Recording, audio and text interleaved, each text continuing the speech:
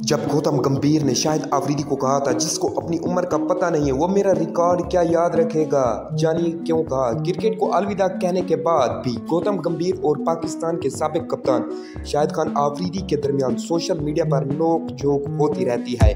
आफरीदी ने अपनी सवाई उम्री में गंभीर को मगरूर बताया था। हिंदुस्तानी क्रिकेट टीम के सलामी बल्लेबाज गौतम गंभीर का शुमार टीम इंडिया के खिलाड़ियों में होता है जो मैदान में हरीफ टीम के खिलाड़ियों को हर तरह से दो टोक जवाब देने की सलाहियत रखते हैं। यूँ तो गंभीर अपने क्रिकेट कैरियर के दौरान कई खिलाड़ियों से उलझे, लेकिन पड़ोसी मुल्क पाकिस्तान के खिलाड़ियों के साथ उसका टकराव कुछ ज़्यादा ही रहा। क्रिकेट को अलविदा कहने के बाद भी गौतम गंभीर और पाकिस्तान के सबक कप्तान शाहिद अफरीदी के दरमियान सोशल मीडिया पर लोग झोंक चलती रहती है। अफरीदी ने अपनी उम्री में गंभीर को मगरूर क्रिकेट कहा था।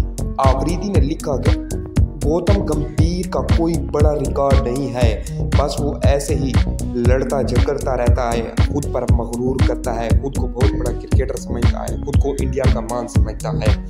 तो इसके बाद गौतम गंभीर ने शाहिद खान आफरीदी को सोशल मीडिया पर जवाब दिया कि शायद, शाहिद भाई, आपको याद कि 2007 के टी ट्वेंटी वर्ल्ड कप में हिंदुस्तान बा मुकाबला पाकिस्तान के दरमियान फाइनल मैच गौतम गंभीर चौवन गेंदों पर पचहत्तर रन जबकि शाहिद खान अफरीदी एक गेंद ज़ीरो रन और हाँ सबसे खास बात यह है कि हम एशिया कप भी जीत गए थे।